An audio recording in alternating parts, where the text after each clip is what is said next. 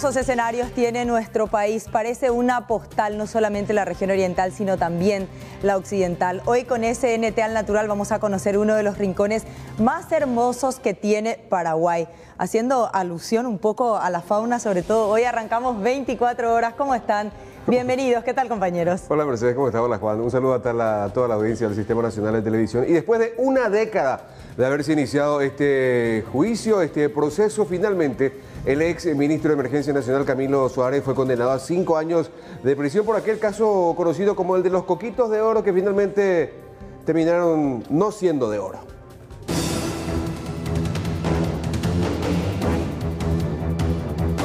Ellos tomaron un recurso que ellos saben que estaban mintiendo directamente. Este, este tribunal estaba prevaricando. Eh, yo estoy tranquilo porque sé que es absolutamente tomada los pelos de este tipo de esta sentencia y vamos a revertir, nosotros vamos a apelar esto. Hay instancias todavía que vamos a recurrir, pero el, punto es que acá en el otro, del caso del Coquito, sí me da la libertad.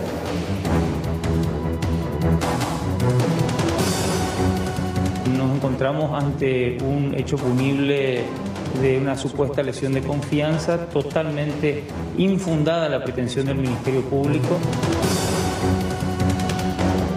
No pudieron sostener, no tuvieron argumentos para sostener la pretensión de la prisión preventiva.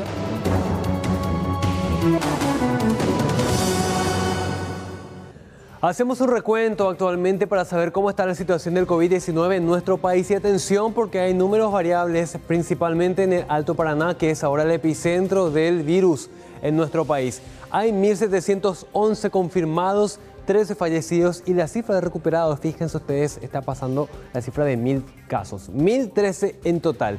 Hacemos un rápido recuento a ver cómo está la variable de los números en los diferentes departamentos y zonas. Y arrancamos con Asunción, para contarles que hay cinco casos nuevos en la capital del país. Con esto suman a 10 los casos activos en este momento. La cifra que ven abajo, 101, corresponde a los casos, a los casos en total desde que inició la pandemia en nuestro país. Concepción tiene 20 casos activos y San Pedro tiene 0 casos activos en este momento. Vamos al siguiente grupo de departamentos y vamos a contarles también cómo está la situación en este momento en Cordillera, recordemos ayer se sumaba un nuevo caso, con eso hay dos activos, hay cero casos activos en Huirá y en Caguazú tenemos 31 casos activos actualmente. Siguiente grupo de departamentos, vamos a contarles cómo está la situación. A ver, en la zona de Cazapá, estamos todavía pendientes de los exámenes de San Juan de Pomuceno. Por ahora es el único departamento con cero casos activos y cero casos confirmados en toda la pandemia. Así que bien por la gente de Cazapá que mantiene todavía las medidas de protección. Itapúa tiene cero casos confirmados y Misiones tiene ocho casos confirmados y activos hasta el momento. Siguiente grupo de departamentos para contarles también lo que pasa en la zona de Paraguarí. Algo que nos llama mucho la atención es que en este departamento tenemos cuatro recuperados y la cantidad total de recuperados es de 33 en este momento en Paraguarí. Así que están funcionando a cabalidad las medidas de protección. 49 casos activos en este momento. Alto Paraná. Hay mucha preocupación por la cantidad de casos. Hoy se suman 119. La mayoría de ellos son del penal regional de Ciudad del Este. Con esto, la cifra trepa a 273 casos activos y 355 en lo que va de la pandemia en nuestro país. Vamos hasta Central. Central registra, antes de ir a Central, les quiero recordar también que tenemos casos confirmados en Itacurú, Presidente Franco y Ciudad del Este. Mucha atención en Alto Paraná. Vamos hasta Central, tiene 59 casos activos. En este momento se suman hoy ciudades como Mariano Roque Alonso, Itagua, Ipacaraí, San Lorenzo y Fernando de la Mora y un nuevo recuperado. 59 casos activos en este momento.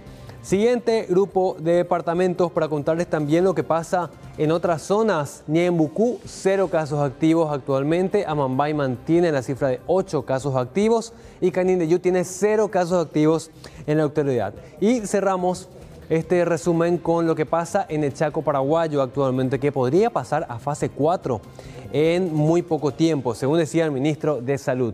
Vamos a contarles que el presidente Ayes tiene un caso activo en este momento, Alto Paraguay tiene cero casos activos y Boquerón tiene cero casos activos actualmente. Y quiero que me acompañen para contarles también lo que pasa en este momento con la cantidad de cifras totales que nos muestra un poco el nivel de pandemia, el nivel de impacto en nuestro país. Y a esta placa la llamamos el COVID en cifras. Mucha atención, Mercedes Aníbal, porque queremos entender todos el impacto real en nuestro territorio.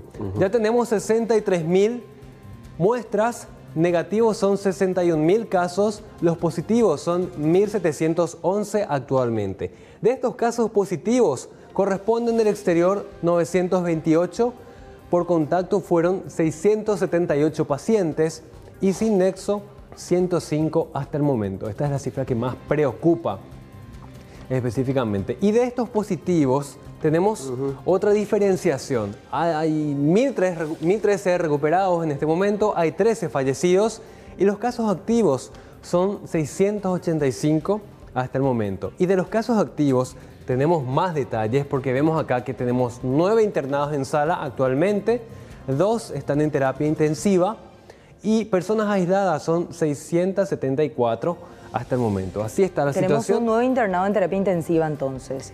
Se suma uno más. No, el de ayer, el de Nueva Colombia. Exacto. Más el, este joven con enfermo oncológico. El enfermo oncológico, exactamente.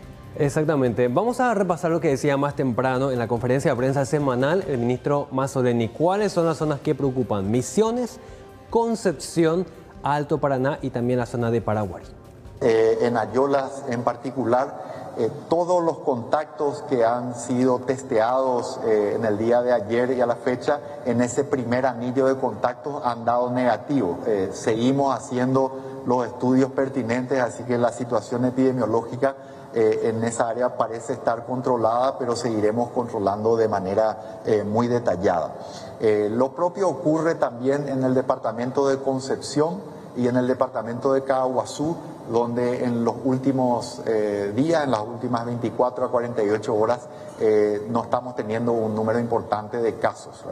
Eh, por el contrario, como ustedes saben, tenemos una dificultad en, el área del departamento de Alto Paraná, particularmente en Ciudad del Este, con el tema del penal. Eh, tenemos muchos positivos en el día de la fecha y probablemente mañana y pasado tendremos un número alto. Yo estimo alrededor de 140 positivos que estaremos reportando hoy. Eso todavía se está verificando los datos. Una gran parte de ellos provienen del, penal de Ciudad del Este. Eh, estaremos verificando, estamos trabajando en coordinación con el, Ministerio de Justicia al respecto y trabajando con las personas privadas de libertad y también eh, con los guardiacárceles otros funcionarios del Ministerio de Justicia apostados en, eh, en ese penal. Estamos trabajando sobre la base de una lógica de asumir el penal como una suerte de albergue y trabajando en esa misma medida. Los eh, los funcionarios también están siendo evaluados de manera constante. Hay personal de blanco eh, in situ monitoreando todas estas tareas. Seguir educando. Eh, tenemos lamentablemente todavía mucha gente que, que no cree en la presencia del virus. Hay una situación regional muy preocupante y una situación país también donde el aumento de casos ha sido importante en los últimos días y va a seguir siendo de esa manera, sobre todo en el área de Alto Paraná y el hecho de que las personas tengan síntomas leves o incluso que no tengan ningún síntoma eh, no significa que el, virus no pueda propagarse y no pueda eventualmente alcanzar a personas mucho más vulnerables, ya sea por enfermedades concomitantes o por la edad, por ejemplo, y ahí sí tengamos eh, muchos fallecimientos que lamentar. Así que es importante enfatizar eso y siempre el cuidado del distanciamiento físico, de las mascarillas, de la higiene propiamente, y volver eh, sobre la base de lo que mostraba recién en la encuesta, importante también destacar no compartir eh, las bombillas, no compartir los, los cubiertos, etcétera. Vamos hasta los datos de este accidente de tránsito. Terrible el accidente, afortunadamente no hay víctimas fatales. Contanos más detalles. Alexis, ¿cómo estás? Buenas noches. Buenas noches, Mercedes, le gusta saludarte. Abrazo para Aníbal, para Juan, para todos los compañeros ahí en estudios y para la audiencia. Estamos exactamente en la ruta San Berluque. Ven ustedes claramente de que hay una línea que prohíbe el adelantamiento en este lugar. Sin embargo, la conductora de esta camioneta, según los primeros antecedentes de la Policía Nacional, intentó realizar un adelantamiento indebido. ¿Qué pasó? embistió por la parte trasera de un automóvil que circulaba bajo, la misma, el, bajo el mismo trayecto y este automóvil perdió el control evidentemente, impactó primeramente por esta columna que vemos en este lugar y finalmente terminó boca para abajo, el automóvil estamos hablando, en esta pequeña zanja. Sin embargo, la camioneta continuó el recorrido, siguió este trayecto en este lugar, continuó por varios metros y fue a impactar primeramente por esta casa que vemos aquí en imágenes. Esta casa también resultó afectada tras este violento impacto. Pasó toda esta valla de seguridad, acá hay alambres, hay rocas, hay de todo un poco, hay incluso un arroyo y fue a parar hasta el otro lado de la, de la ruta y terminó ahí de forma increíble, nuevamente mirando el automóvil hacia la calle. Gracias a Dios, estamos hablando de un accidente que no tuvo víctimas que lamentar. Sí, por supuesto, los afectados terminaron con muchas lesiones y se fueron derivados hasta un centro asistencial, pero a juzgar por las imágenes y por la forma que quedaron estos automóviles, estamos hablando de un accidente con suerte en verdad. Vamos a escuchar lo que decía uno de los intervinientes quien estuvo en este lugar y por supuesto también bajo los resultados de la prueba de alcoholemia que dieron positivo según este informe también. El vehículo del Hyundai Santa Fe se procedió a adelantarse al vehículo Toyota, donde en una de esas eh, le, le rozó al Toyota Velta y perdieron el control los dos y fueron a parar en la banquina y en ese lugar ellos tumbaron. ¿También un tercer vehículo involucrado? Sí, es un tercer vehículo involucrado que eh, tuvo un roce de, de, uno de los vehículos. A chocar por una casa también tengo entendido, ¿no? Sí, eh, el, el, Hyundai Santa Fe eh, chocó por, un, por una casa también. Y uno de los autos terminó en un pequeño arroyito prácticamente. Sí, el Toyota Velta tumbó y se cayó en la banquina. ¿Dieron positivo a la prueba de algo? Se hizo presente personal de eh, caminera, patrulla caminera y es donde se le hizo la prueba de alcoholemia. Los, los dos conductores eh, salió eh, negativo el, en la prueba.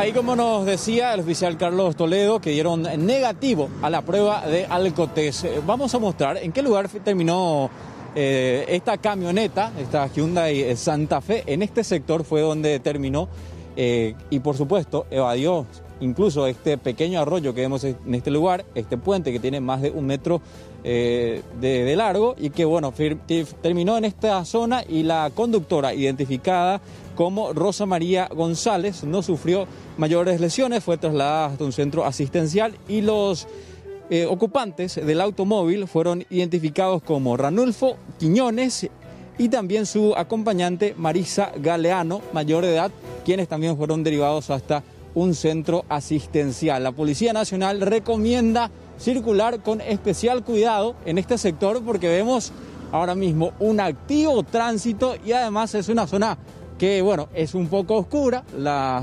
señalización se ve, se ve más o menos y bueno, hay que manejar con mucha precaución en este sector y especialmente respetar las indicaciones, no adelantarse y también tomar todas las precauciones que corresponden en Mercedes, compañeros. Sí mismo, una desgracia con suerte. Qué aparatoso realmente este accidente. Bueno, muchas gracias Alexis, que tengas una buena noche. Hasta luego. Vamos a otro caso porque lleva a la pequeña Yuyu, Juliet, más de dos meses desaparecida. Para los investigadores, la policía, todo gira en torno y apunta al padrastro como presunto responsable de este hecho e insisten de que la niña está con vida.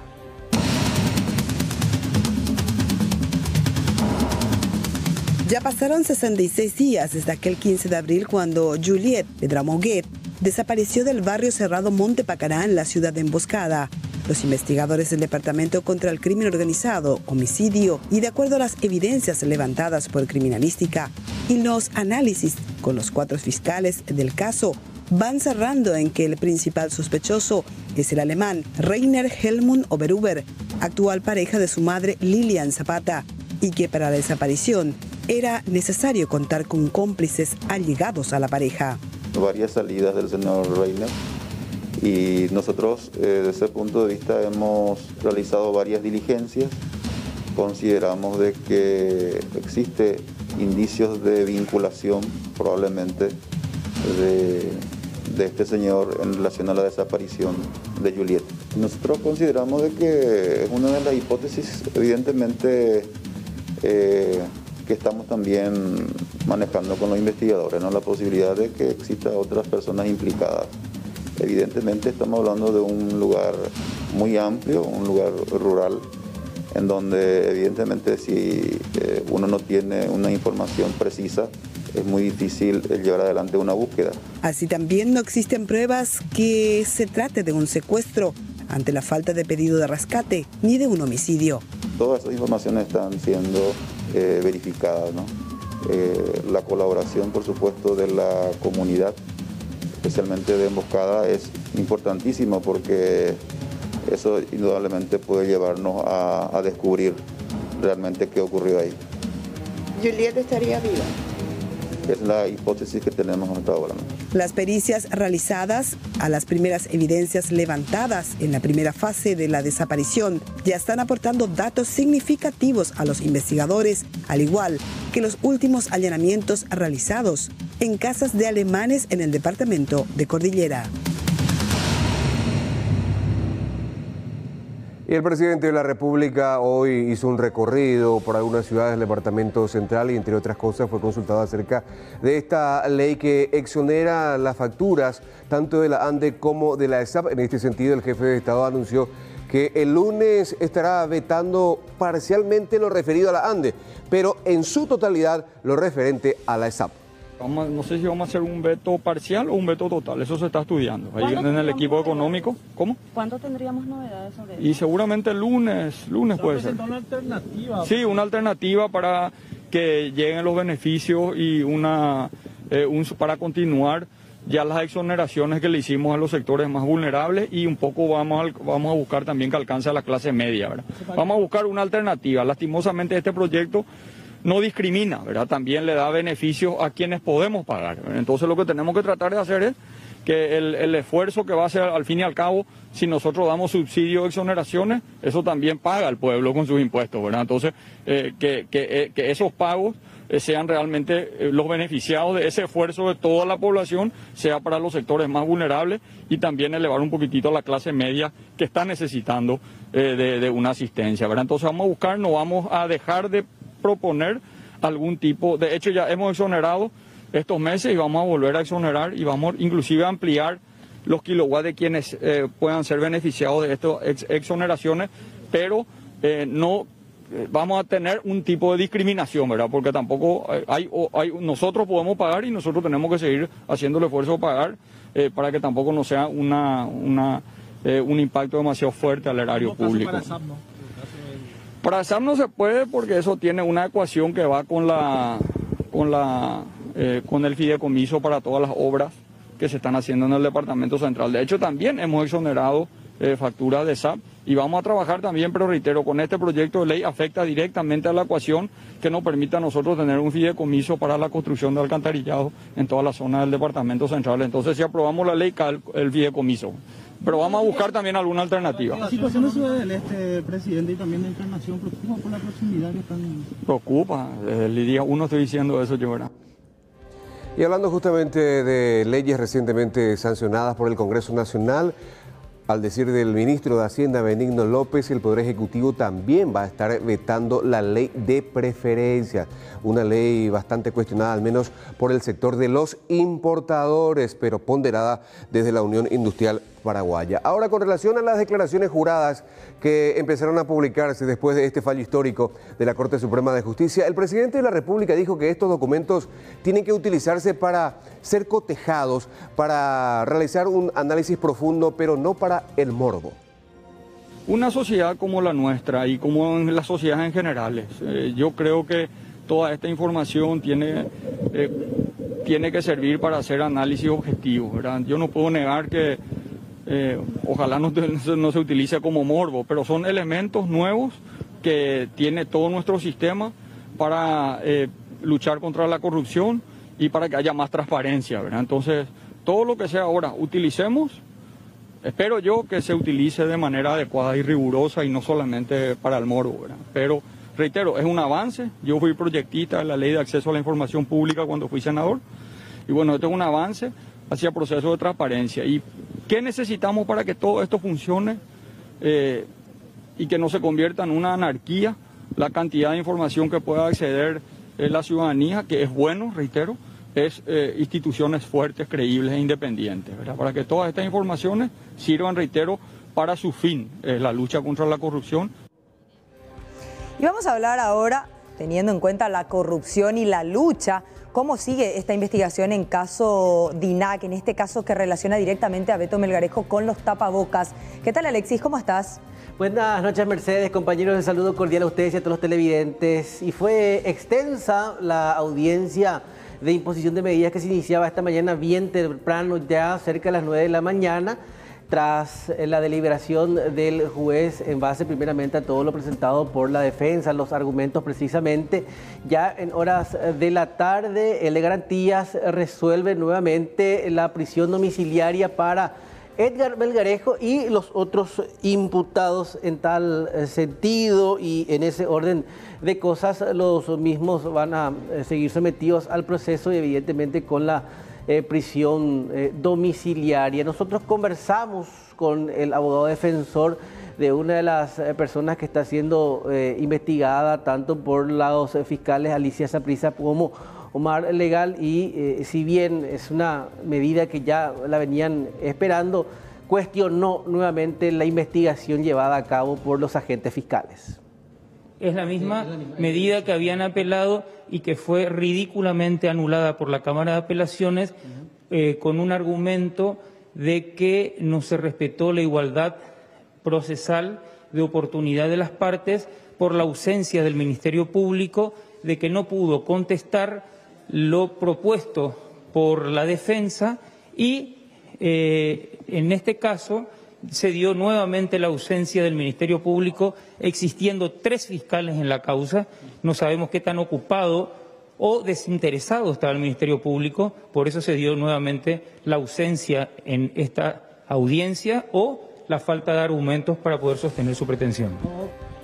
Pero ¿cuál es el hecho investigado? Ustedes recordarán ese primer escándalo que eh, saltaba desde la administración de la Dirección Nacional de Aeronáutica eh, Civil eh, cuando finalmente quedaba por descubierto que habían adquirido tapabocas muy por encima del precio del mercado. Hablamos de los famosos tapabocas de oro cuya cantidad eh, superaba ya el total por unidad de 30 mil guaraníes, cuando que los precios de referencia todavía en ese entonces oscilaban a los 7 mil guaraníes aproximadamente. más, del triple.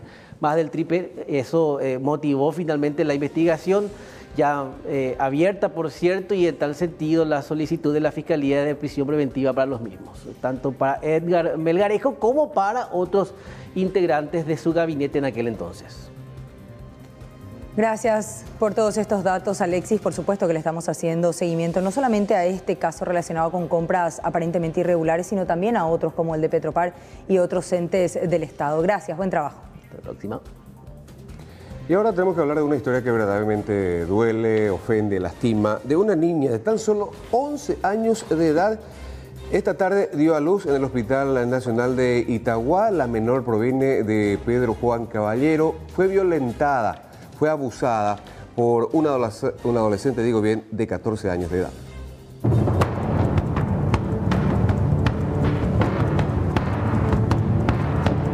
El caso de la niña madre tiene origen en Pedro Juan Caballero, departamento de Mambay. La menor fue víctima de abuso. El autor sería un joven de 14 años del entorno cercano a la niña. Su madre tiene 32 años y 7 hijos. El tratamiento prenatal fue realizado en el Hospital Regional de Pedro Juan Caballero. La gestación presentó complicaciones. Realmente se trata de una menor, ¿verdad? De 11 años que, que ya había consultado meses atrás eh, en varias oportunidades. En la primera oportunidad eh, traída por la madre por sospecha de abuso sexual.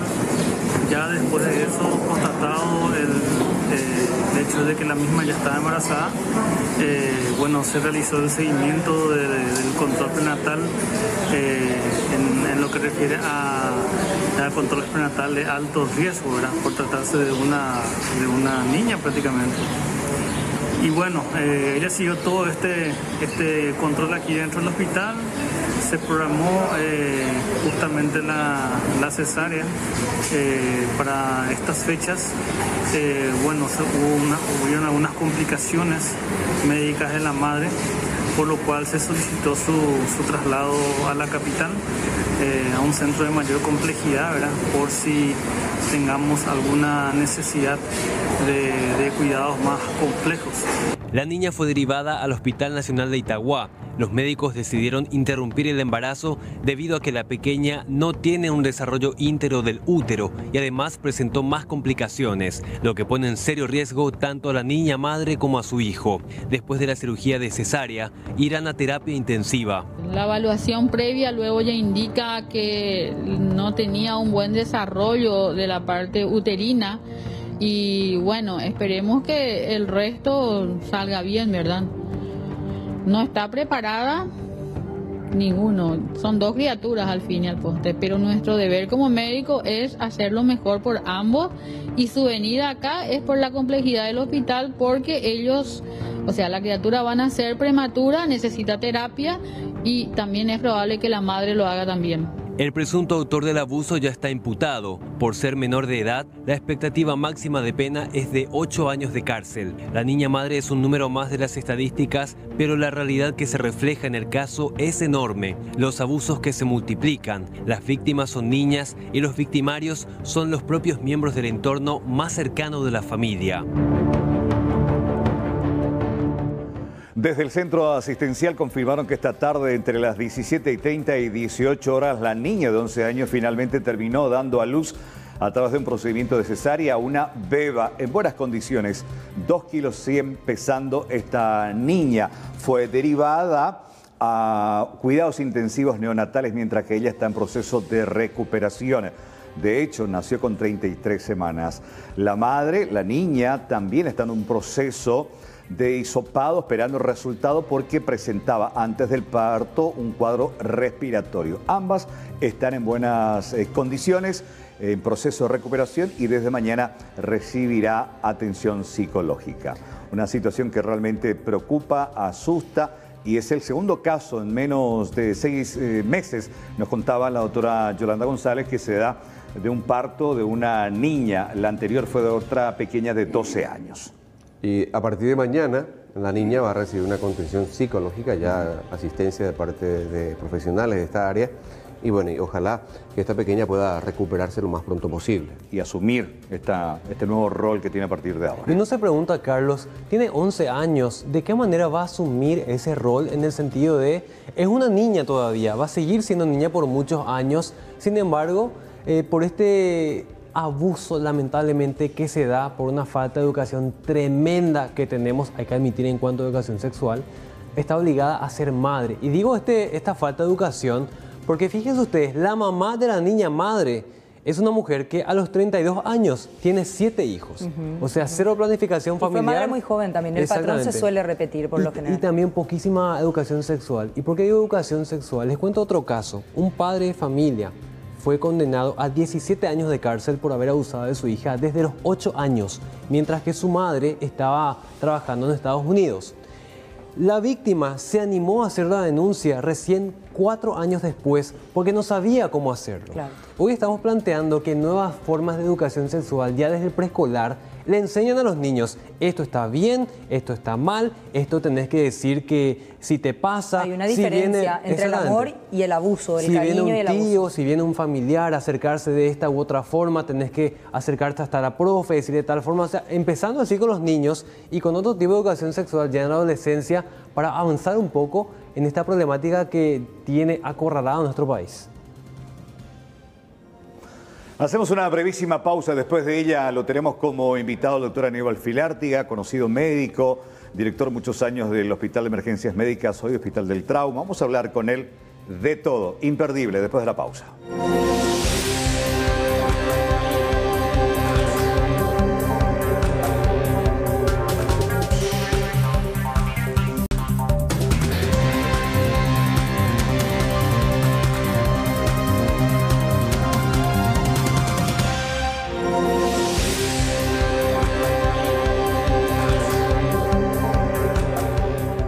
Bueno, lo prometido, antes de la pausa, está con nosotros esta noche el doctor Filártiga, médico reconocido. Incluso recuerdo aquello, aquellas pancartas frente a hoy el hospital eh, del trauma, emergencias médicas, haciendo esa conciencia en la gente sobre los accidentes de tránsito, la importancia que significa el uso de cascos, bueno, el cinturón. Lo tenemos esta noche, doctor, ¿cómo te va? Bienvenido a 24 horas, un placer tenerte. El placer es para mí y les agradezco mucho la invitación porque siempre es un- una forma de que la gente conozca lo que uno piensa. Aparte muchos años en salud pública, maneja al dedillo todo lo que significa eh, estar en el otro lado de la vereda, en salud pública. Y sobre ese tema, ante esta situación, los casos que están apareciendo ahora sin nexo por contactos, la preocupación de la saturación del servicio público y esa responsabilidad que nosotros desde el otro lado como ciudadanos sentimos por parte de los responsables de manejar esta crisis. ¿Es tanto así, doctor? Eh, ¿Sería tanta nuestra culpa en el caso de que ocurra una saturación en el servicio público? No, de hecho, ayer apareció, o anteayer se hizo viral un- una, una reflexión que hice y que le mandé a mis hijos y ellos a sus amigos y después se hizo viral. Todo el Paraguay tiene en este momento y me llamaron de todos lados. Yo creo que eh, el pueblo paraguayo, si llega a ocurrir un, un pico o un escenario peor, eh, no va a ser el culpable y sería muy injusto culpar- culparle a todos. Es decir, siempre hay un porcentaje de irresponsables que hacen que este, los justos paguen por pecadores, pero en realidad 100 días de encierro, sin trabajo, sin vida social, sin actividades, eso sería lo de menos, pero encerrado, sin trabajo, con hambre. Mucha gente está con hambre, no, no gana para darle de comer a sus hijos, lo que- y 100 días es mucho. De manera que eh, si aguantamos 100 días, se hizo un trabajo estoico y la ciudadanía no puede ser responsable. Desde luego que no hay responsables, salvo el coronavirus. ¿Y por qué digo esto? Porque las autoridades tomaron las medidas adecuadas. Desde el punto de vista estrictamente médico, el estratega, según la gente del, del ministerio, fue Guillermo Sequera y esta chica, la doctora Ramírez. Adriana Amarilla. Amarilla, que hicieron un brill- brillante trabajo, convencieron a quienes tenían que convencer y se hizo una planificación muy madura y criteriosa. Es decir, las autoridades y el pueblo cumplieron. Si llega a haber, como puede ocurrir, porque están aumentando llamativamente los, los números, si llega a haber un escenario peor, no es culpa de que no se tomaron medidas, no es culpa de que se relajó demasiado el pueblo. En todas las regiones del mundo hubo picos, sea cual fuere el comportamiento del pueblo y las posibilidades económicas de los gobiernos. En todos. Ahí tienen Alemania, que ya estaba tranquilo, ahí tienen Chile, que ya estaba tranquilo, y de repente una fulguración otra vez. Es decir, no hay, no hay responsables a quienes echarle la culpa si esto ocurre, porque es evidentemente la conducta epidemiológica del virus. Y lo estamos aprendiendo, porque cada día hace algo que nos desconcierta. Entonces es muy difícil prever, no le podemos decir a nadie cómo no previste esto. En este momento, si un científico puede decir qué va a pasar en el Paraguay los 15 días que viene o las, las 3 o 4 semanas que viene, es un candidato seguro a premio Nobel de medicina, porque nadie sabe nada. Ese es el peor de los problemas. No se sabe nada del virus. Hay mutaciones. Se va a hacer una vacuna. Vamos a suponer que sale una vacuna en dos meses. Si muta el, el- el- el virus y la vacuna no sirve más, en tres, cuatro meses otra vez. Y hay científicos ingleses y publicaciones de Lancet, la revista inglesa de mucho prestigio en medicina, que hablan de que va a haber muchos repiques en todos lados. Va a decaer y de repente va a haber picos y repicos y el año que viene incluso algunos vaticinan que va a haber cuatro o cinco repiques. En el Paraguay o, en el- no sé dónde, pero es una conducta absolutamente incierta la de este virus. De hecho, que desde la OMS hoy estuvieron ya advirtiendo que podría registrarse lo que ya aconteció con la fiebre española, que tuvo un repunte y en la segunda oleada produjo millones de muertes. Lo mismo podría acontecer con el COVID. La fiebre española puede ser muy parecida a, la- a lo que puede ocurrir en nuestro país. Murió más gente de hambre que de gripe española. Como usted habla de que todo es tan incierto, no solamente a nivel nacional, sino internacional en relación al comportamiento de este virus, venimos escuchando desde que escuchamos pandemia, tenemos que prepararnos. Tenemos que prepararnos nosotros, aportando lo que podemos, quedándonos en casa, cuidándonos, y también tiene que aportar el Estado con lo que tuviese que gestionar para en un caso de necesidad estemos relativamente preparados.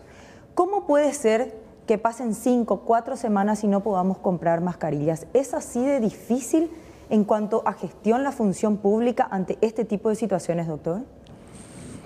Bueno, en primer lugar quiero decir una cosa, la OMS, que es la entidad madre en la salud en el mundo, está tan desorientada como, como Adán el Día de la Madre, porque todo lo que nos dice es lávense las manos, pónganse tapaboca y quédense en casa. Es decir, cuestiones primarias. No hay ninguna recomendación científica, tomen esta droga con esta, nada, no hay. O sea, no saben tampoco ellos. En cuanto a lo que decís, Mercedes, eh, de- de que debimos prepararnos, yo no quiero entrar en un- una letanía otra vez, todo el país sabe cuál es mi postura. Se perdieron 100 días. ¿Y por qué se perdieron 100 días? Porque en este país hay cuatro o cinco claques de poderosos corruptos que manejan el país. Y los proveedores del Estado, muchos de, de- son muchos de esos clanes, o algunos de esos clanes, o dependen de alguno de esos clanes. Y se organizaron para estafar en el peor momento que se puede estafar.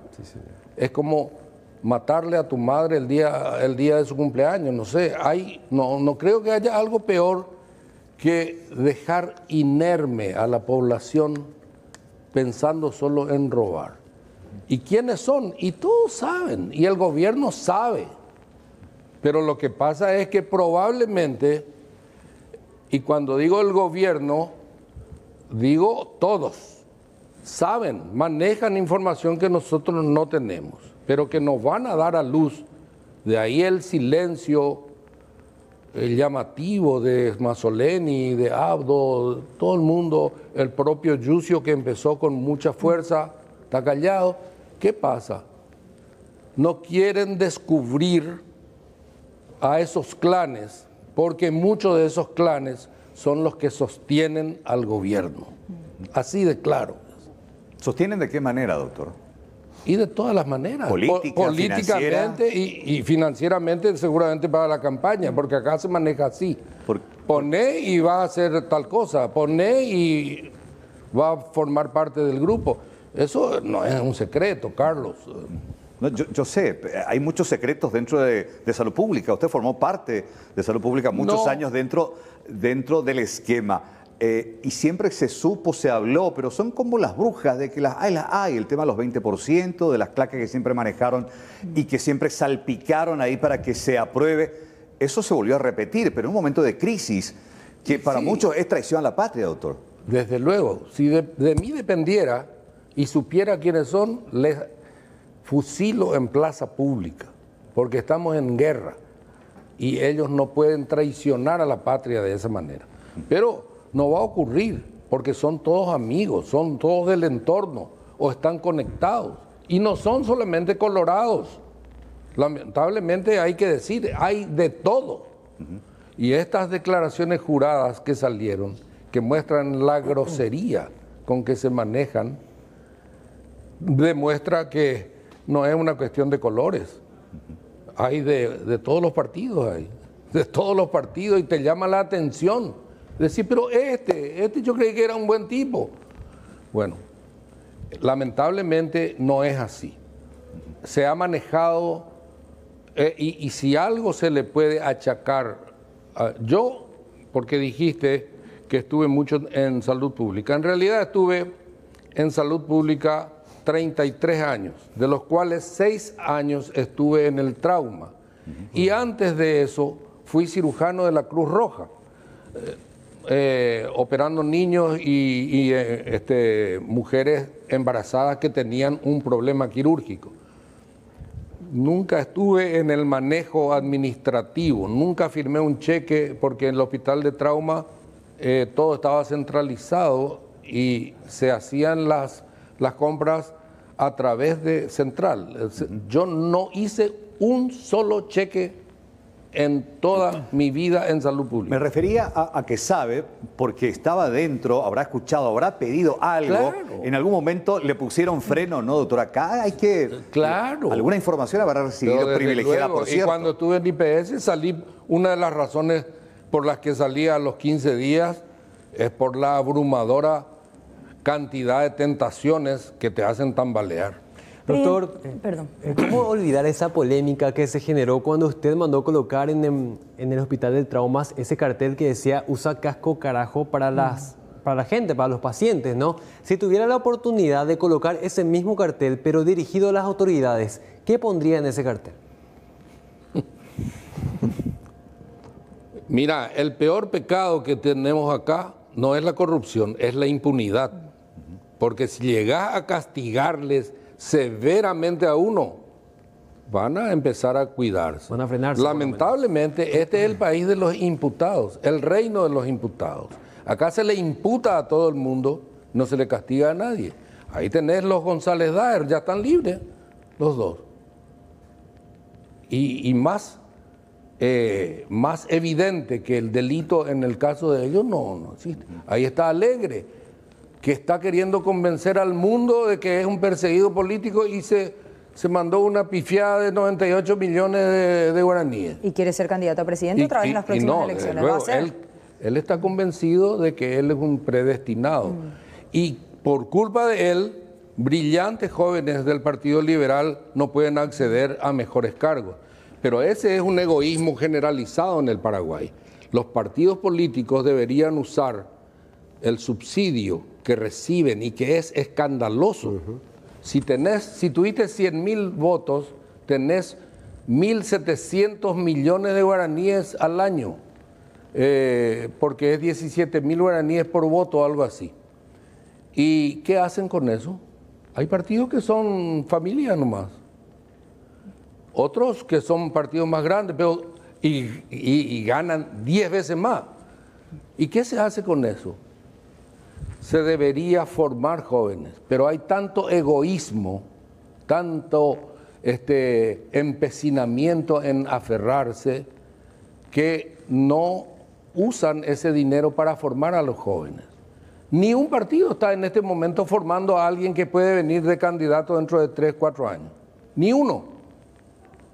Cuando que podríamos tener 10 jóvenes, uno del, del PDP porque tuvo 100 mil votos, eh, dos o tres del que tuvo 300 mil votos, 10 del Partido Colorado que tuvo 1.200 1.200.000 votos, 10 del Partido Liberal.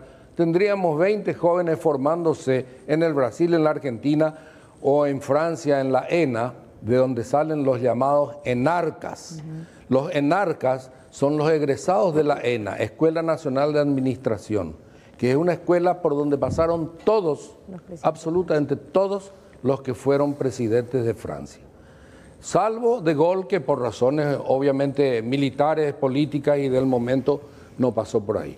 Después todos son enarcas. ¿Qué costaría mandarle tres, cuatro años a formarse a unos cuantos muchachos brillantes de 30, 40 años? Nadie empieza y tienen la obligación por ley del 30% destinar a formación y no lo hacen. Hacen unos cursos carapé por Atigrá, Cacupé, hay unos cuantos que ni le entienden lo que le hablan y con eso cumplen y presentan. Pero acá debería tomarse en serio. Yo hablé con diputados y me habían dicho que iban a hacer una ley, pero después vino toda este, esta pandemia y cambiaron las cosas. Pero a mí me parece que tiene que haber algo que les obligue a los partidos, de acuerdo al número de votos y al subsidio que tiene, a mandar a formar uno en cinco años, dos los que tienen más y diez los que tienen mucho. Entonces vamos a tener un abanico de jóvenes formados para ser estadistas y no improvisados. No improvisados. Este presidente que tenemos, ¿qué es lo que es? Nada. Él tuvo, tenía una empresa de asfalto que ganaba con bastante frecuencia las licitaciones del Estado. Después ya fue diputado, después ya fue senador y después presidente. Pero qué linda la carrera así. Y no saben administrar nada porque nunca administraron algo. Y eso le pasa a Mazzoleni. Mazzoleni es un brillante médico, es una, un referente en reumatología. El país le consulta. Es, yo creo, una persona honesta. ¿Pero eso es suficiente para administrar? Pero evidentemente tiene una soberbia patológica porque ser amigo del presidente nomás pues no es la carta de presentación o el currículum necesario para tomar el ministerio. Y él creyó que sí. Nunca, ni un solo día de su vida trabajó en salud pública. Él no conoce el ministerio que es un monstruo. Nunca hizo un curso de salud pública. Y acá tenemos salubristas excelentes. Está la profesora Felicia Cañete, que es una profesora que hace 25 años trabaja en el ministerio y hace 25 años es la encargada en la Universidad Nacional de Asunción en medicina de los cursos de salud pública y de administración hospitalaria. A ella nunca le dieron ni la oportunidad siquiera. Entonces se improvisa. Y cuando se improvisa pasa esto. La soberbia de creer que se va a poder manejar. Y si no tenés experiencia, si no tenés título, por más amigo que sea, por más buen médico que sea, no podés manejar. Yo creo que eso es lo que pasó ahora. Por eso él fue embaucado. Esperemos que eso sea así, que él fue embaucado. Si es que firmó los contratos y dio su ok, sabiendo que eran truchos, es cómplice. Pero yo creo que no es. Y si lo hizo sin saber, es incapaz. Yo creo que el ministro no puede decir yo cumplí mi parte del contrato con la ciudadanía porque la parte sanitaria anda bien. No, ese no es el trato. Yo creo que antes que soberbia, doctor, es deshonestidad. Porque si uno no se siente capacitado para ejercer determinado cargo y si no conoce de ese mundo, mejor no aceptarlo. Pero es que la soberbia le hace pensar que son, están capacitados. también, tiene razón, sí. Y pero mientras él se aviva, entre comillas, ¿qué hacemos todos? Pasaron 100 días, eh, las compras no se hacen pensando en que se pueden descubrir los fatos.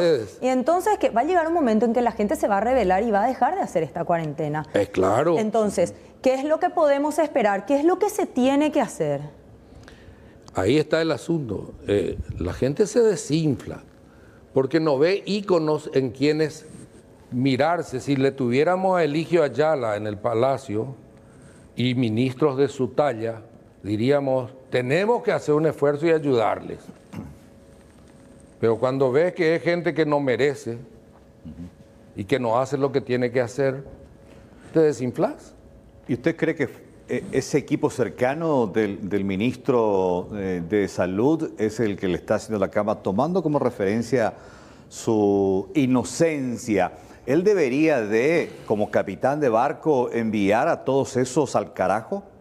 Yo creo que sí, pero hay mucha equivocación cuando se piensa que él llegó ahí y, y ya estaba todo ese equipo ahí. No es cierto. Él llevó a todos y cada uno de los que están en este momento en los puestos claves. ¿Y qué hace el capitán? El capitán del barco dice, yo no puedo abandonar el barco, sería cobardía. Más cobardía es acusarle a siete marineritos que están pintando el barco cuando el responsable soy yo. ¿Usted qué hubiera hecho, doctor, en, en el lugar de Pero del jopo le saco a todos. le- primero le separo a todos de sus cargos. Ni uno fue separado. Rolón, el viceministro Rolón es un tipo que tiene antecedentes. Muchos de los que están ahí tienen antecedentes. Y todos saben. Y los llevó Mazzoleni. ¿Por qué? Porque eran sus compañeros en la facultad. Es un barco lleno de piratas. Y yo no sé. No sé porque no, no, no estoy ahí adentro, pero, pero él tiene que tener, él debió tener mano dura, debió plantarse, decir, yo soy el ministro, acá se va a hacer lo que yo diga, y usted, usted, usted, usted, aparentemente las cosas fueron erróneas, se van a sentar ahí en el freezer hasta que pase todo esto. O tener la humildad de decirle, Benigno, préstame na- de ahí de Hacienda cinco funcionarios que manejen bien, porque yo no entiendo bien este asunto. Tener la humildad, pero no tienen. Ahí está el problema. Pareciera ser que alguien le impuso, este acá, este allá. Yo no sé, puede ser, pero eso no me consta, pero son todos amigos de él. Son todos amigos de él. Ahora, doctor, eternamente, históricamente, la deuda con el pueblo paraguayo es salud y educación. Absoluto. Nunca se tuvo un presupuesto como el que se tiene ahora. Y no vamos a alegar que estamos en pandemia para hacer las cosas. Podemos hacerlas en pandemia aprovechando para todos estos próximos años. Eh, este presupuesto que se maneja ahora es una oportunidad única. ¿Cómo se tendría que manejar este presupuesto para que quede a futuras generaciones? No, este presupuesto debió usarse para tener mil camas de terapia, hipertrechos para seis meses para todos los que están enfrentando, y no solamente médicos y enfermeras. Piensen en los que hacen deliveries, pobrecitos. Piensen en los que recogen la basura todas las noches. Ellos en otros países están con unos trajes especiales, acá a cuerpo gentil. Te dicen que por favor le rocíes alcohol en la Sí, bolsa, en casa se hace, sí. pero el 99% probablemente no lo hace. Pero aparte, entre ellos están sin equipo, se pueden contagiar. Eh, de manera que eh, la plata de la pandemia tenía que usarse en la pandemia. Y el presupuesto de 4% para salud y 4% para educación es una deuda eterna que tienen todos los gobiernos.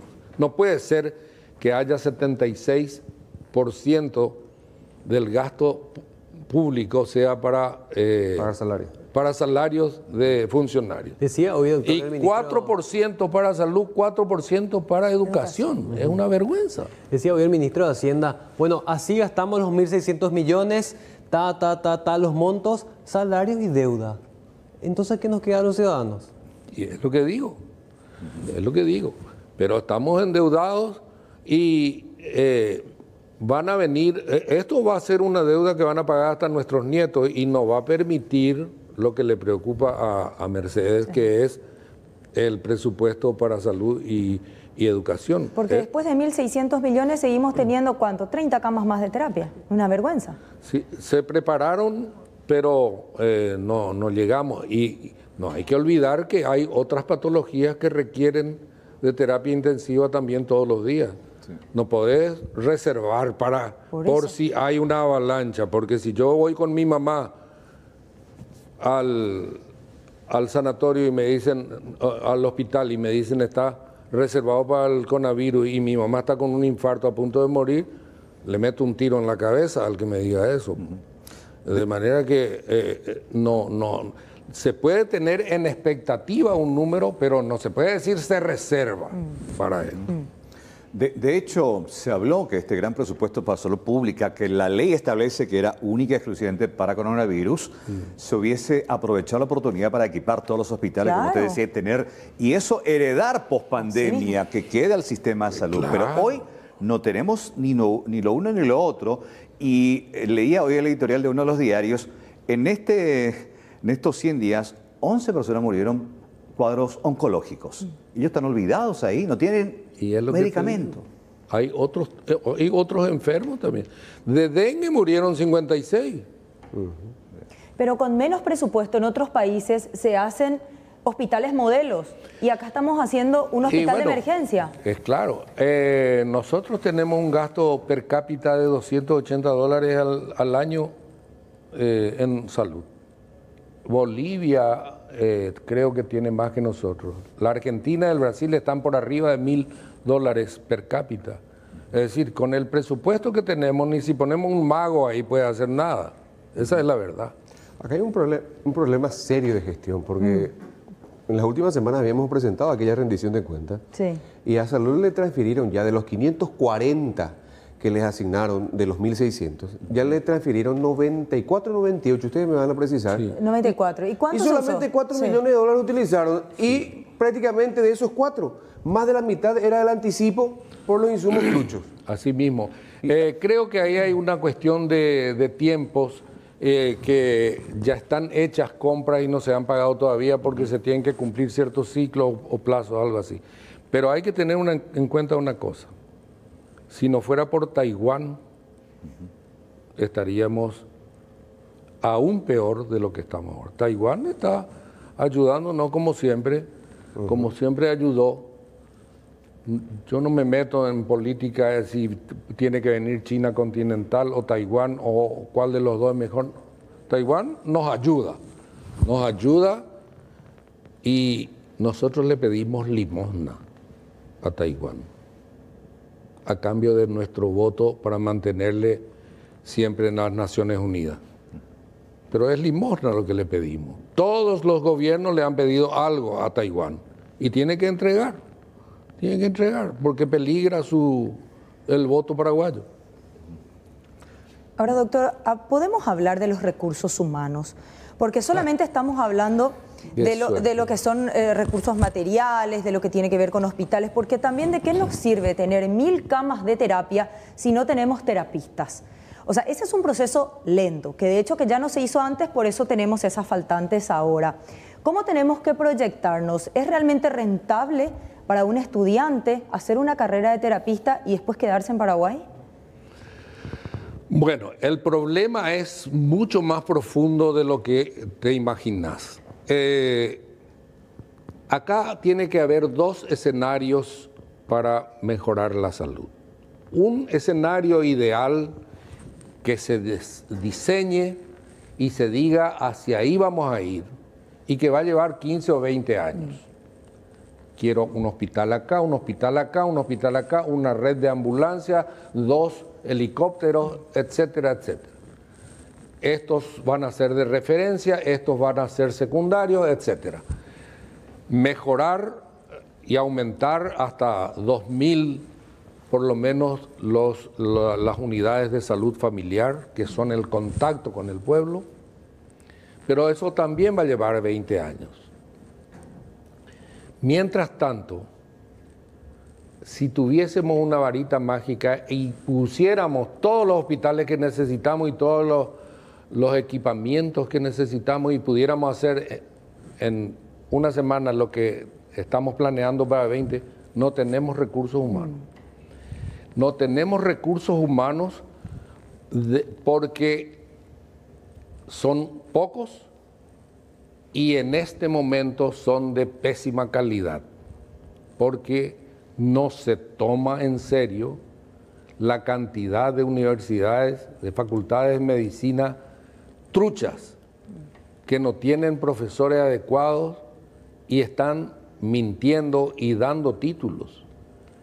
Y muchos de los que fueron a Cuba también fueron engañados. Pero por felizmente muchos de los que vinieron de Cuba trabajaron y están en este momento en condiciones. Tengo, conozco médicos de urgencia eh, del, del hospital de trauma que se formaron en Cuba y vinieron acá y eh, aprendieron más acá porque de allá salen médicos generalistas medio... un- Se hicieron con la práctica. se hicieron con la práctica, pero alguna medida hay que tomar contra... En Pedro Juan Caballero hay nueve facultades de medicina. Todo para los brasileros. Y todos se van a rendir de para allá y fracasan en su examen en el Brasil. ¿Por qué? Porque no están bien preparados. ¿Y qué pasa ahora? Vuelven acá, inundan nuestro, nuestro sistema. Tenemos pocos y de mala calidad. En estos 20 años, o sea, acá hay un escenario inmediato, que es el que les digo a 20 años, y un escenario inmediato. ¿Qué hay que hacer ahora?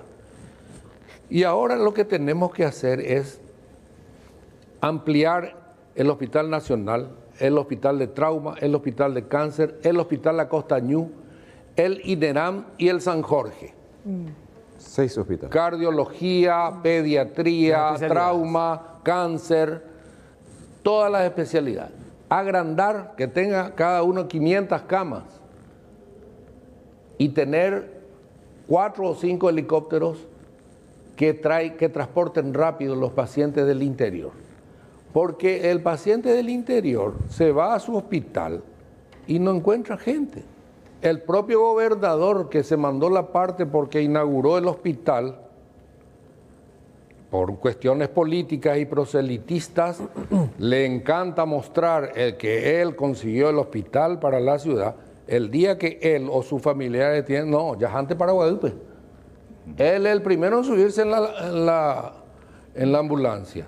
Es decir, se hace, pero con fines que no tienen nada que ver con la salud. Primero para co- cobrar una coima, segundo para mandarse la parte de que se hizo un hospital. Pero realmente, en este momento, yo, presidente de la República, amplío esos hospitales que les digo.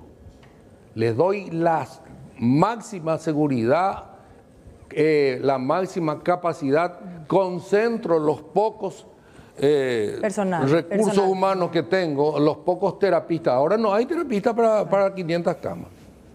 Re- se juntan ahí y este país es, tiene las dimensiones de un estado en los Estados Unidos o de un estado en el Brasil. El Hospital de Trauma del de Brasilia tiene un radio de acción de 600 kilómetros. Así que nosotros, que somos más chicos que eso, podemos tener un sistema de recolección acá que sea un embudo mientras se construye lo ideal en un escenario ideal. Doctor, yo me quiero agarrar de algo que decía recién usted, y es que en Paraguay actualmente no tenemos íconos. No tenemos así gente a quien seguir a decir, bueno, este nos va a salvar, este nos va a venir a hacer avanzar. Y se da también un momento muy particular en nuestro país porque hay muchas globosondas, candidatos políticos que de repente salen a, a testar a la gente qué reacciones tienen. Hoy José Luis Chilaver dijo, quiero ser presidente de la República. Y tiene todo el derecho. De repente, doctor, si hay algún movimiento que dice, doctor Filartía, te necesitamos en nuestro equipo, ¿qué le diría? Bueno, yo nunca tuve ambiciones políticas. Ya me ofrecieron ser diputado, me ofrecieron ser senador, pude ser ministro también. Eh, no, no hubo ofrecimientos oficiales, lo aclaro. Pero yo creo que como me conoce la gente y en el interior, podría tener chances si quiero un, curul en el Senado o en, en diputado. Pero no es mi ambición. Yo soy médico de corazón, de alma. Yo tengo que estar en la trinchera.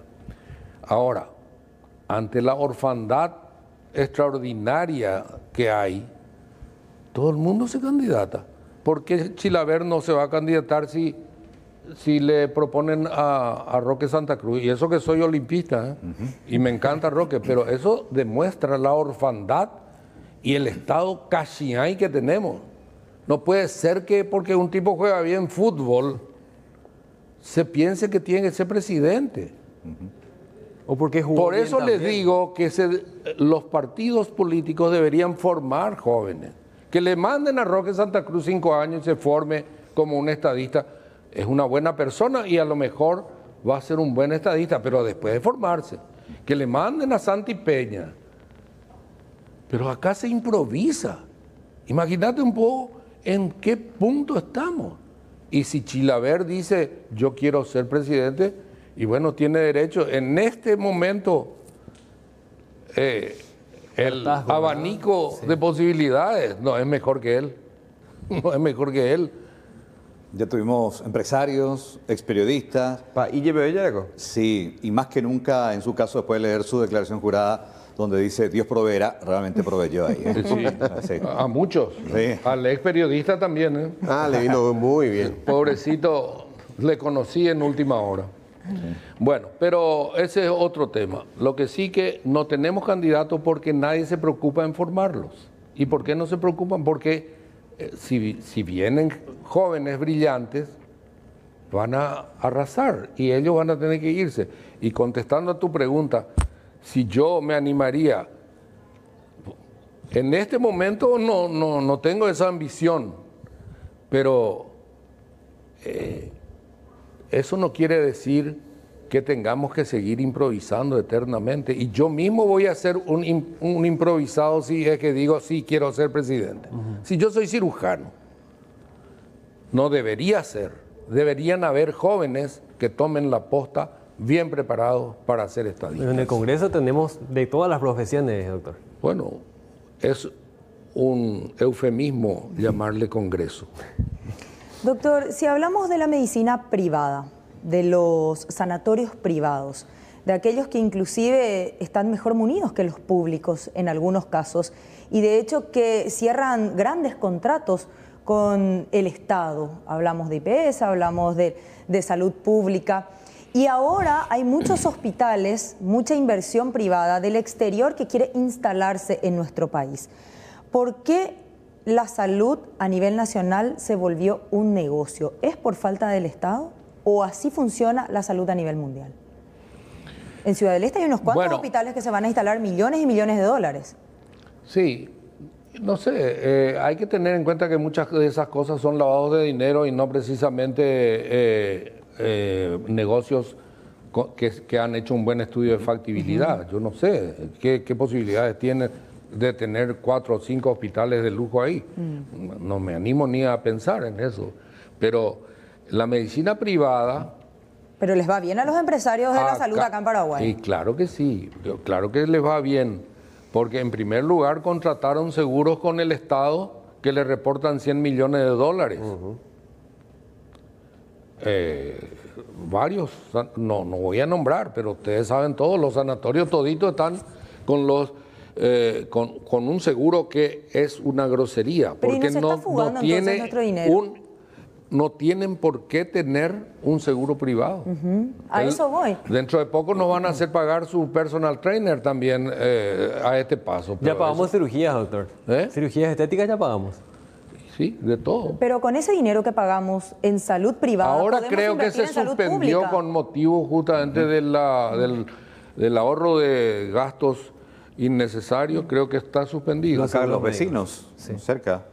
No está la, la diosa estrella. Ahí, escándalo hicieron cuando se habló de suspender el seguro privado. ¿Y por qué tienen tanta plata los, eh, los sanatorios? Primero porque eh, tienen esos seguros. Y en segundo lugar, ¿cuánto cuesta un, un medicamento ahí, una ampolla de novalgina ahí?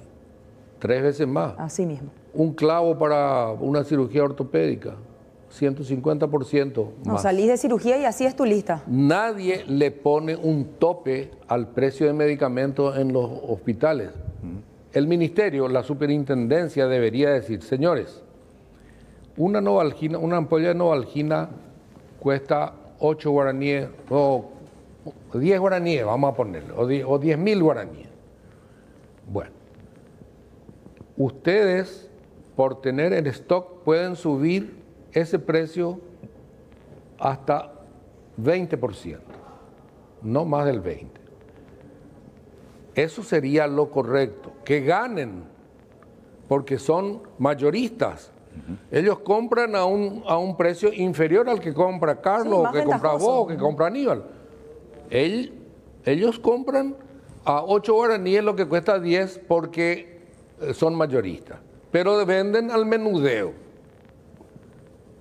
Y entonces, y, y no solo al menudeo, venden realmente al 150% de lo que le... Vos te vas a un sanatorio y estás calculando que va a pagar un 30, 40 millones, me va a salir este con su me- esto, el medicamento. Tiene una cuenta de 90. Y a veces... ¿Y a quién le vas a discutir? ¿A quién le vas a playar? Y de todo ese listado de medicamentos, a veces ni siquiera la mitad utilizaron en, en el paciente. Y es difícil controlar. Bueno, ese es otro aspecto. Pero yo, con pacientes que he operado, yo me di cuenta cómo le han cobrado. Tengo el caso de un diputado, aquel, eh, ustedes se han de acordar, un diputado de Ciudad, de Ciudad del Este que tenía un sombrero, venía siempre con un sombrero. Hace 10 años atrás, tal vez. Bueno, no, no me acuerdo el apellido. Lo que sí que vino con la señora que tenía un tumor en el colon al consultorio y le dije, bueno, esto se tiene que operar, etcétera, etcétera, y eh, el seguro te cubre, pero lo que no te va a cubrir es la sutura mecánica. le digo. ¿Y qué es eso? Me dice. Y es, en vez de unir el intestino con una maquinita que es una grampadora, este, se hace a mano, eh, es menos seguro. Y con las grampas es más seguro. es una para- ¿Y cuánto cuesta? Y vamos a averiguar. Llamo por teléfono, me dice 3 millones 200, me dice el representante. Le digo 3 millones 200, sí, hay por acá, me dice. Ajá, está venderse vaca. Se fue, vendió una vaca que tenía y vino con la plata justa. Dos días después de la operación, que vino el representante, uno de los empleados de la casa representante, y me entregó en la mano, o sea que ni se usó el armario o en stock del sanatorio, me entregó en la mano, le puse, y dos días después le vino la cuenta 7 millones 900 mil guaraníes. ¿Y la en vez de diferencia de, 3 precio? millones. ¿A qué se Y, debía? y vino él y furioso conmigo. Y le dije, no puede ser. Le llamo al de la empresa y me dice, profe, te voy a mandar la foto. Me manda la foto de la factura, 3 millones 200. Pero en el sanatorio le subieron a 7 millones 900 porque sí, porque no, así nomás es. Si no te gusta, andate. Ese es el problema. Lucrar con la salud. Sí. Bueno, doctor, eh, nos faltaría un par de noticieros más para seguir Nos hablando con quedamos ustedes. con ese Sí. sabor amargo en, ese, Exacto, un en esa freno de mano y bueno, anécdota. Para continuar, hay tanto por hablar, le- les dije, vamos a hablar de todo. Doctor Filartia, gracias por tu tiempo, que disfrute del fin de semana, muchas gracias y vamos a estar en contacto permanente. ¿eh? Eh, Fue un placer hablar con ustedes, con Mercedes, contigo, Carlos, y con mi tocayo Aníbal, que hace rato no le veía. Buen fin de semana, doctor, gracias. ¿eh? Gracias a ustedes. Gracias, gracias. Hacemos una pausa. Dale, ya. Ahí está.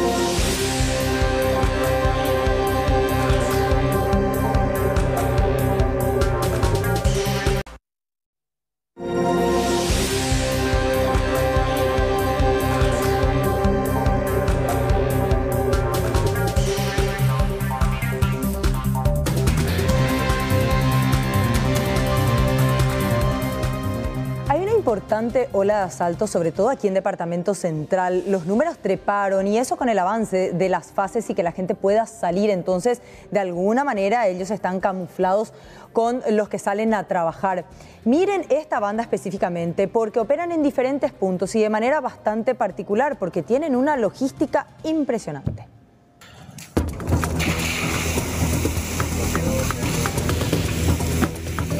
Lo último que se tiene de esta banda es la incineración de este rodado, con lo que cierra el círculo de los investigadores en torno a otros hechos ocurridos en el mes de junio. Los registros se remontan al asalto al laboratorio Brunelli de la ciudad de San Lorenzo el 8 de junio. Hasta ese entonces las imágenes del circuito cerrado los mostraban como la banda del gordo y el flaco, que se desplazaban a bordo de una motocicleta. Allí se alzaron con 5 millones de guaraníes y teléfonos celulares. Su última incursión como asaltantes se dio el 15 de junio cuando actúan en el barrio Laurel de San Lorenzo y fingen un accidente de tránsito. La víctima, una mujer que conducía un automóvil Toyota Belta color negro, chapa JAA 431, a quien se la atraviesa uno de los criminales, cae al piso en su moto, momento en que aprovecha el otro para despojarle del rodado.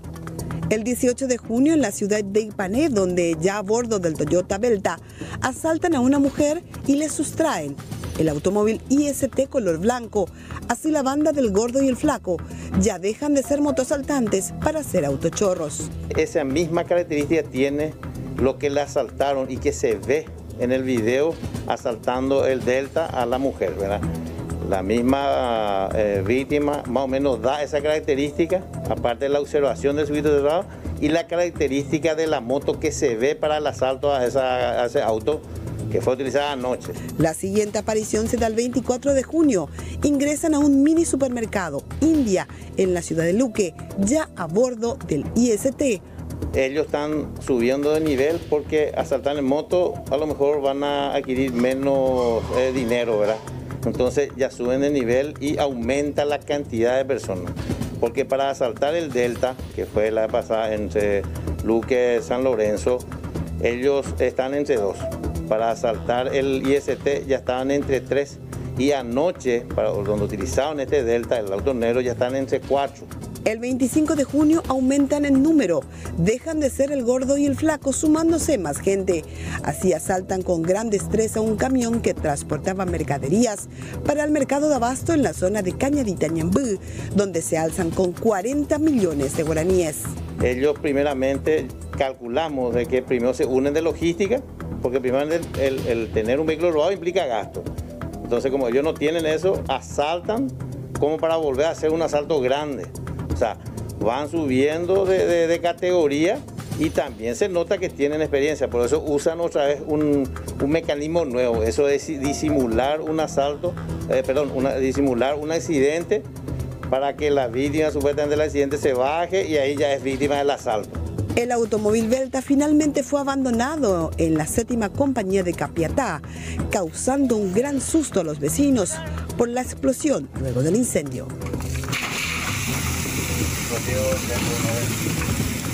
Yo escuché la explosión y salimos a mirar y ya estaba eh, incendiado el vehículo. ¿No escucharon otro ruido? No, nada, solamente eso y le llamé a 911 y después vinieron ellos a verificar. A través del chasis, de, el número de chasis de este vehículo, eh, le pertenece a una señora quien manifestó de que se le llevó su vehículo. Ese dato estamos teniendo zona Laurel los criminales hasta ahora estarían a bordo del automóvil IST que porta la chapa del Delta, no descartándose que en las próximas horas cometan otro atraco. Quien reconozca a los autores o a este IST puede comunicarse al sistema 911 o al 576700, Departamento de Investigación de Delitos del Departamento Central. Se garantiza reserva de información. En el ámbito judicial, comentarles, en esta jornada se dio finalmente, después de muchos años, la condena a cinco años de cárcel de Camilo Suárez, pero seguirá en libertad. Este proceso fue conocido en su momento como los Cuquitos de Oro.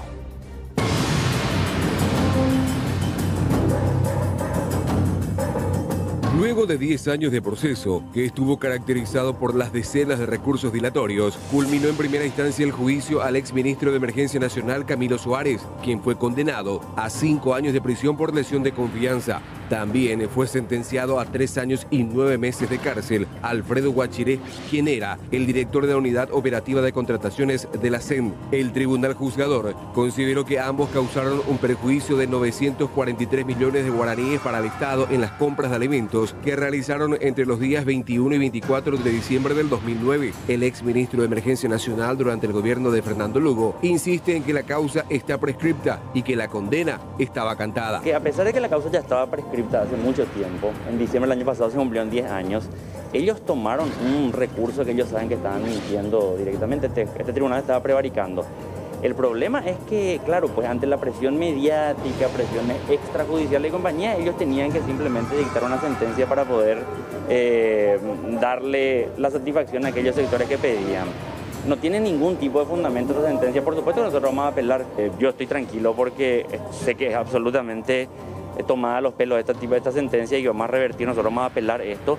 Pero también queda comprobada una cuestión más, cómo la justicia paraguaya opera a gusto y paladar de lo que tienen poder. Punto, sencillo. Nosotros en esta semana vimos a algunos muy poderosos le dan todas las medidas y cuando uno es extrasistema o es enemigo de algunas grandes corporaciones, bueno, te van a condenar. Eh, o sea, nosotros sabíamos que iba a pasar esto, éramos conscientes. Este caso era conocido como el de los coquitos de oro, ya que la fiscalía también señaló a Soares y Guachiré de haber causado un perjuicio de 281 millones de guaraníes al Estado con la compra supuestamente sobrefacturada de coquitos y palitos en los primeros 15 días del mes de diciembre del 2009. Sin embargo, el Tribunal de Sentencia consideró que la acusación del Ministerio Público no fue demostrada. Guachiré criticó a los jueces por hacer prevalecer una resolución frente a un decreto que lo exculpaba en el caso. Pero metieron un reglamento que se hizo en, octubre, eh, dos meses antes de esto hecho, metieron ahí un reglamento diciendo que yo ese reglamento eh, eh, se colocó ahí que eso fue que yo le facilité para que se pueda hacer las compras. Pero en realidad hay un decreto superior a eso que dice otra cosa. Yo no soy el responsable y esto vamos a demostrarlo, lógicamente vamos a apelar, Hay, hay instancias que vamos a recurrir, pero el, punto es que acá en el otro, del caso del Coquito, sí me da la, libertad. Porque yo ni era director. Y hay un decreto que establece que yo no era el responsable. Tanto Camilo Suárez como Alfredo Guachiré seguirán en libertad hasta que la sentencia quede firme. Mientras tanto, ambos condenados seguirán cumpliendo las obligaciones que les fueron impuestas al inicio de este prolongado proceso.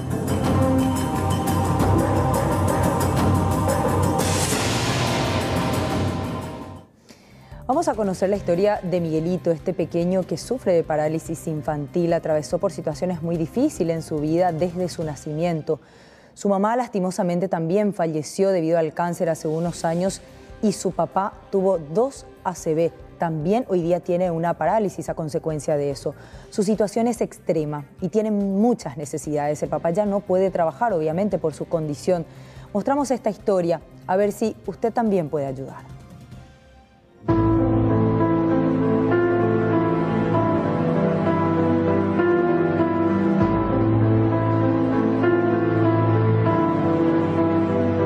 Miguelito es un chico de 13 años que fue diagnosticado con parálisis infantil y cuya historia de vida hace que el corazón de cualquiera se estremezca. Al nacer aparentemente a raíz de una negligencia en la cesárea, le cortaron el abdomen y los intestinos, lo que produjo que sus órganos se envenenaran y su cerebro también sea afectado. Esto le ocasionó una discapacidad motora en la postura y en el habla. Sumado a ello, hace unos años su papá Gustavo Palacios sufrió dos accidentes cerebrovasculares que le dejaron secuelas de movilidad en el lado izquierdo de su cuerpo. Inició sus tratamientos de rehabilitación, pero estos se vieron interrumpidos luego de que la mamá de Miguel haya sido diagnosticada con cáncer y lamentablemente falleciera hace tres años. De Don Goyo, como es conocido en el barrio, se hace cargo de su hijo desde entonces, pese a sus limitaciones físicas y las necesidades que los afectan. Y se me vuelve ya algo realmente difícil. Yo, yo solo me encuentro con mi hijo. Y ya necesito de la ayuda profesional, vamos a decir, ya sea doctor o doctora, pediatra si es que por ahí me pueden asistir. Porque yo para movilizarme es imposible, para llevarles es imposible ahora para mí. Recién logré otra vez estabilizarme, caminar, pero no puedo caminar todavía bien. Ustedes ya me ven cómo estoy. Y bueno, ya eso quería llegar por ahí, si es que se puede. Y para la gente que... Hay gente que muchos no conocen, a lo mejor ya no, no sabían más nada de mí. Eso es mi clamor ahora. Lo que pido, por favor, si es que pueden ayudar. No lo hago por mí, es por este inocente que necesita. Él tiene 13 años. Y supuestamente fue parálisis infantil. Pero él cumplió siete meses 26 de noviembre del 2016.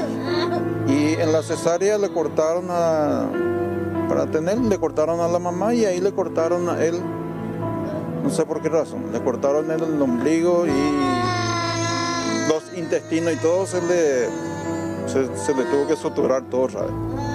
Y ahí empezó todo, el, todo nuestro dilema, o el calvario, a decir.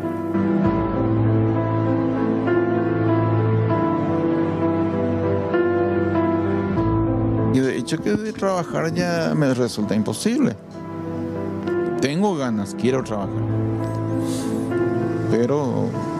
Y así estamos con él. Estoy procurando a ver si... Pero ahora ya no puedo más. Físicamente ya, ya me es imposible poder andar, andar con él. Y cuando tuve la ceguera, después de un buen tiempo, me, me, posibilitó la parte izquierda. Pero igual así anduve procurando de trabajar. Después nomás en el 2016 se presentó el caso de mi señora con la noticia del cáncer de grado 3 y ahí yo dejé toda mi rehabilitación, la rehabilitación de, de Miguelo. Dejamos todo atrás porque yo quería que se priorice ella. Y en fin, anduvimos mucho y no, no pudimos salvar. Llegó el 2017 y el 5 de agosto falleció de mí.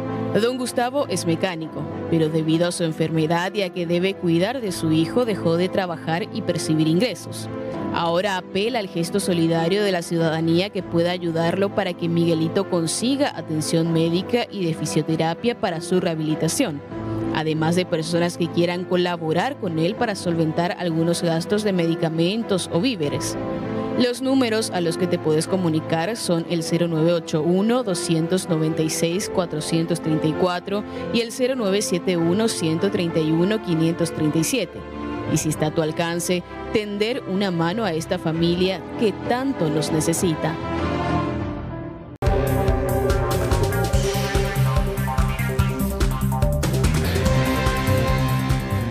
Asaltantes hicieron de las suyas en una zona industrial. Estamos hablando de este hecho que ocurría en el Alto Paraná. Allí empezó la persecución con la policía. Fue de varios kilómetros, de hecho casi de película, y llegaron hasta la zona justamente del kilómetro 8, lado Mondal.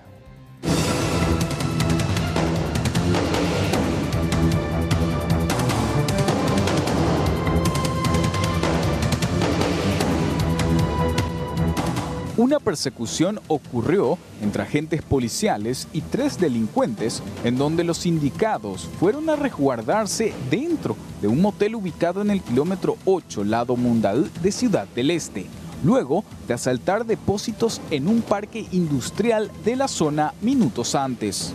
Nosotros tuvimos conocimiento a través de no es la 911, la red de la emergencia de la Policía Nacional, eh, un robo agravado, un supuesto robo agravado que sucedió en el barrio, o sea, en el, en el Parque San Juan, Parque Comercial San Juan.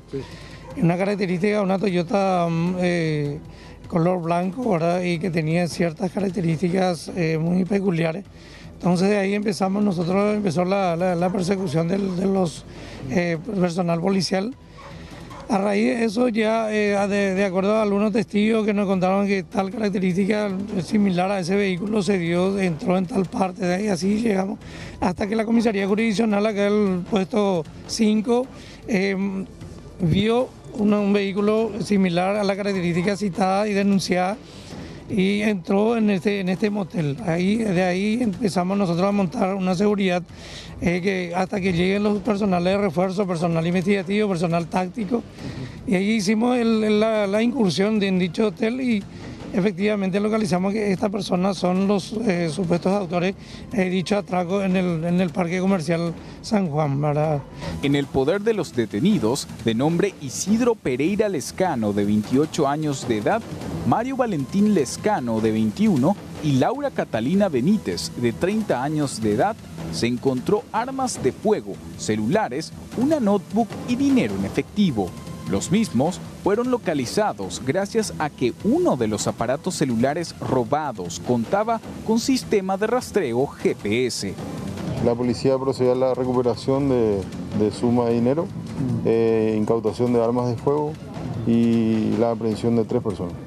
Sí, el dinero se contabilizó, figura en el acta y... ¿Pero estimativamente cuánto más o menos? No, más tarde le voy, a, le voy a dar más datos, ahora estamos todavía colectando datos y nos queda todavía mucho trabajo por delante. Asimismo, el fiscal interviniente del caso mencionó que las investigaciones seguirán, ya que habrían más cómplices de los atracos perpetrados por los aprendidos.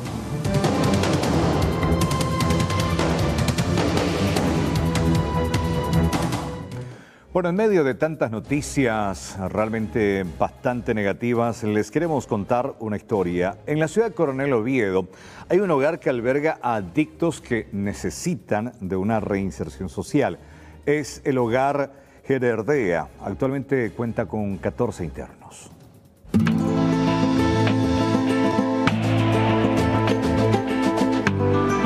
El hogar Gederdea tiene 12 años de historia y es una luz de esperanza en medio de la pandemia y el síndrome de abstinencia que sufren las personas adictas a las drogas. Los 14 jóvenes aprenden oficios y pasan sus días en este lugar procurando en un futuro próximo tener otra oportunidad. Yo les veo animados, ¿verdad? Y la esperanza, ¿verdad? Es que ellos están este, tratando de cambiar sus vidas, a través de la palabra. Eh, yo estimo que hay esperanza, hay esperanza para el que quiere salir. Este lugar es alquilado, esta casa es alquilada. Estamos trabajando para comprar un local propio y como nos sostenemos eh, a puro pulmón, con nuestra autogestión, eh, nos cuesta un poco, pero estamos haciendo esfuerzos para poder lograr eso. Bastantes personas ya han pasado por este hogar y algunas ya han conseguido la independencia total. Muchísima, muchísima gente. Eh, tenemos un promedio de 30, 40 internados por año, de los cuales eh, existe un muy alto porcentaje de reinserción. El hogar se encuentra en el barrio Maristas a metros de la Ruta 2 y se autosustenta con las ventas de los productos de los propios internos. Sí, desde que vine acá estoy muy bien. Hace tres meses que le conozco, vine acá y conozco a Dios y espectacular. Me gusta mucho que esté acá y realmente acá nos sentimos, así como así, en libertad, estamos de nuevo en la paz interior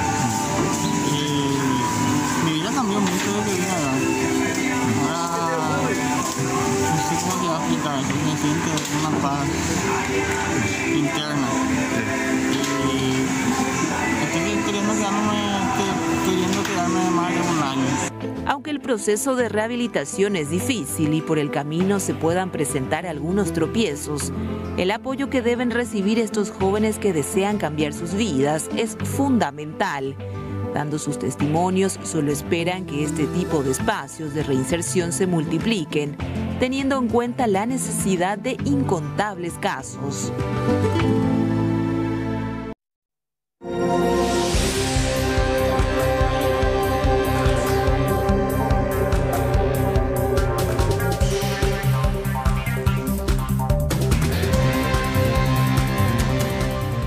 Fresca que tenemos hoy, una temperatura de 12 grados y piquito. De hecho, que se siente este fresquito, sobre todo por el cielo nublado que tuvimos durante todo el día.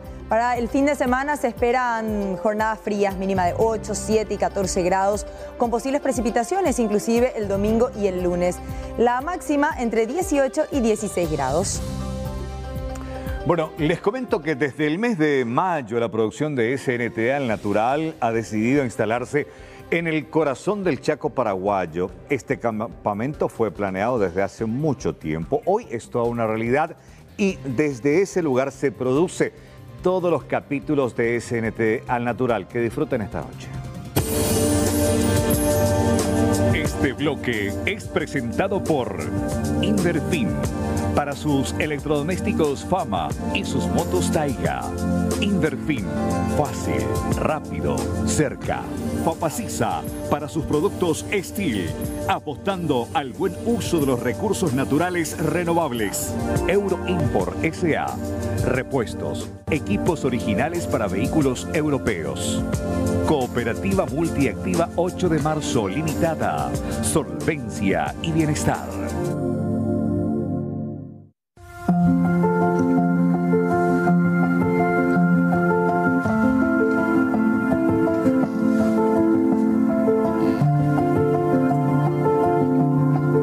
Del mes de mayo, la producción de nuestro programa ha decidido en conjunto con la empresa de turismo de naturaleza Paraguay Safari instalarnos en el corazón del Chaco paraguayo. Nuestro soñado campamento, pensado por muchos años, hoy es toda una realidad. Y trabajar conviviendo con la naturaleza facilita enormemente los trabajos de producción de campo.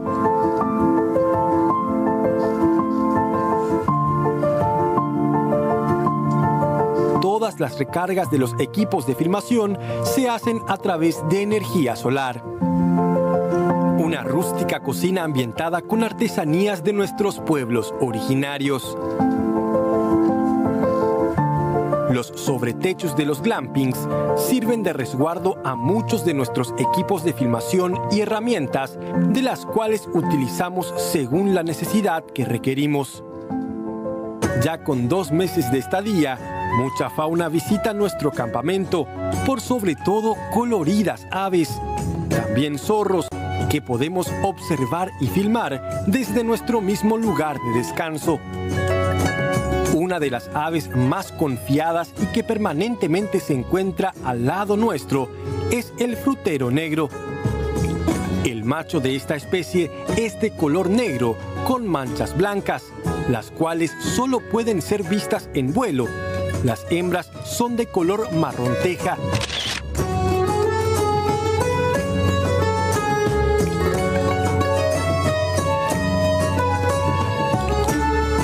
Las cardenillas y cardenales son otras de nuestras permanentes visitas.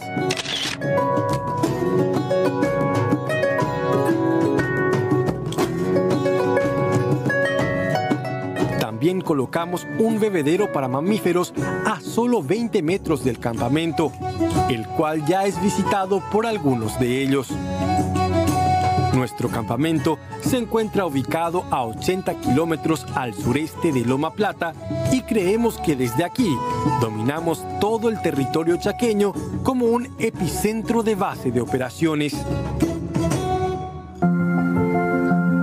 Permanentemente tenemos visitas en el campamento y hoy tenemos una visita muy especial.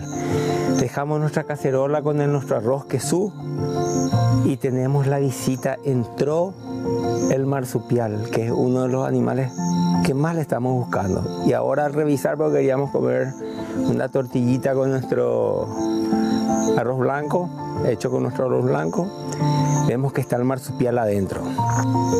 Qué hermosa criatura, pequeña, chiquitita. Una miniatura del Chaco y una hermosura del Chaco. Son sumamente arborícolas, vive en una artesanía nuestra y hoy se apoderó de nuestra cena. Miren lo que es, es una belleza.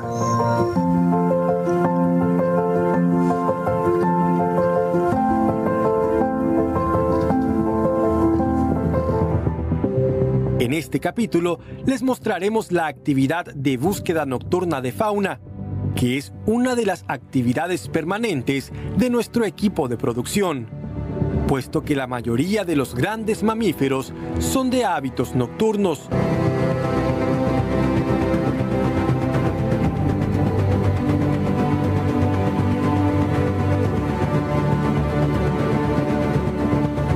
Entre los animales más filmados por la noche, podemos mencionar a zorros, que normalmente muestran una notable curiosidad. Las maras del Chaco o tapitibolí,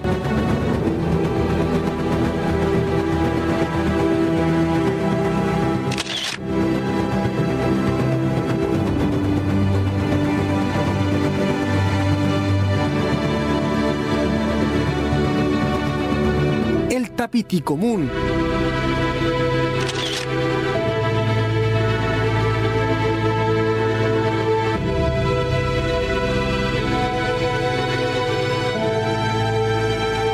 El yaguané o zorrino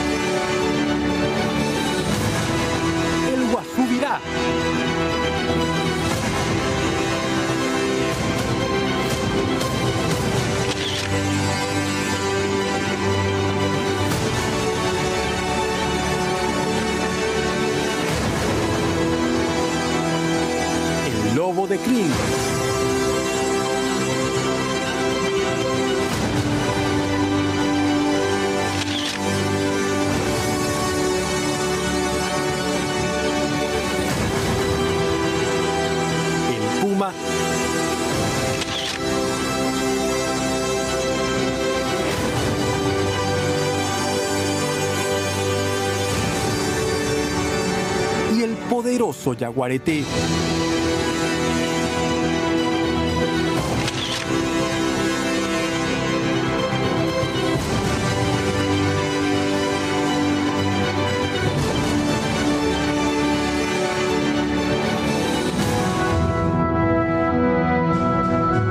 Trabajo que viene realizando C9N al natural va acompañado de mucha pasión por lo que hacemos.